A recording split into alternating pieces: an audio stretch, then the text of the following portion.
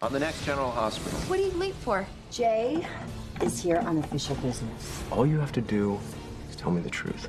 Hope I'm not intruding. Get your hands off of her. Don't touch her. Get me on the stand. You can stay the hell away from me.